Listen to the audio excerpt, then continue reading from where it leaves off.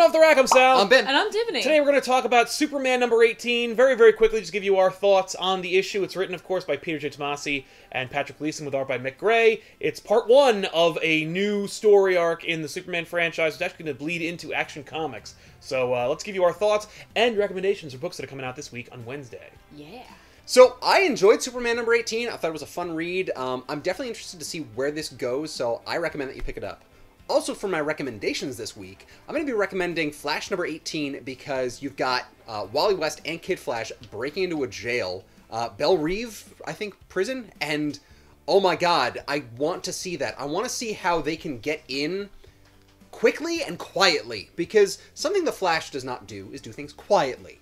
He's very brash. And of course, Flash number 18 is written by Joshua Williamson with art by Neil Googe. I'm also recommending this week Unbelievable Gwenpool number 13. I'm not really an Unbelievable Gwen Gwenpool fan, but you're going to be having that character fighting Arcade.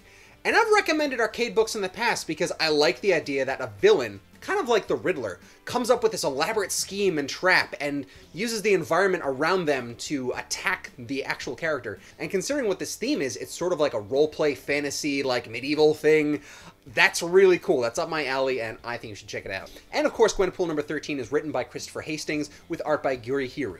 Uh, so yeah, go check them out. Alright, so as for my thoughts about Superman this week, it was awesome and crazy emotional and just super cool, and I it's just leading up to whatever is going on between Superman and this other Clark Kent who is really creepy and I don't care for him and I kind of look forward to finding out who he is so I can hate him even more because I really like uh, Superman with Lois Lane and their son John and the fact that that's all busted up right now, I'm just like, I, uh, you guys gotta go take care of this. And I love that Lois is all on board and like, you know, it's like getting in between like a mama bear and her cub, except now it's Superman. And I gotta tell you, their relationship, Superman and John's, made me think that how come we couldn't do that in the Silent Hill movie? We had to make it a girl. Anyway, um, on to my recommendations. Um, this week, um, from Image, uh, Green Valley number six is coming out. Uh, that's six of nine, so we're almost getting to the end there.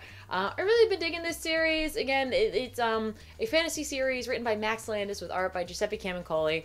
I know I've busted on his art before, but in this book, it's great. It works. I don't know if that has to do with he really likes this book or just the team that's inking and, and coloring it with him, but I love it. It's awesome. It's great.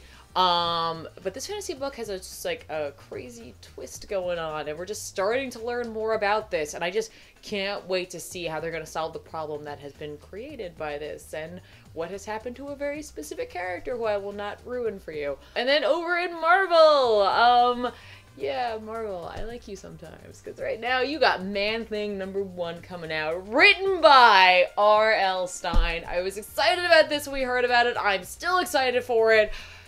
Goosebumps, man. The man wrote Goosebumps, and now he's writing for Man Thing. It just fits. Man Thing's his supernatural character from like the swamps. It's like, duh. Why wouldn't we have him? It's drawn by Daniel Warren Johnson, and they are noting that there's a parental advisory on this one, which means it's probably for like slightly mature, and it's not going to be for kids, which is a good thing to know because R.L. Stine has written for kids a lot. Um, so you know, just be aware of that. But otherwise, this is a limited series. Uh, I believe it's five issues, so go pick it up. And if you want to see R.L. Stine write more, then you definitely got to go get it. Obviously, I am a fan of Superman number 18. I think it's a beautifully written issue. I love the art.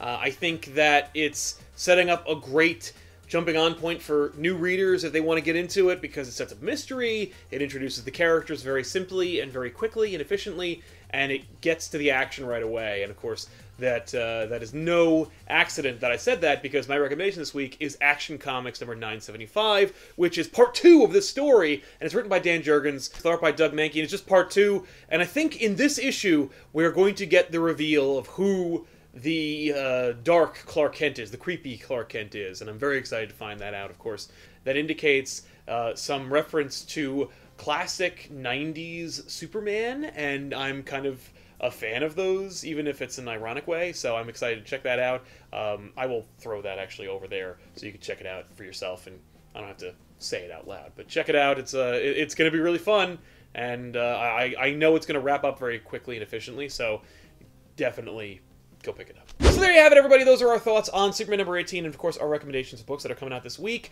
Uh, I think we can all recommend Superman number 18, right? Yes. Go pick it up. Yeah, this is a great place to jump on. You might be a little confused, but it's awesome. I agree. I think it's a great refresher course for Superman and a great jumping on point as well. And the confusion helps. Yeah. It really gets you into it where you're like, what's happening? Yeah. Yeah, yeah, it's excitement as opposed to bafflement. So Yes. we'll see you guys next week with another episode. I'm Sal. I'm Ben. And I'm Tiffany. Thanks a lot for watching and keep on reading. And check out our review of Logan. That's right, over there in the corner. Look at it.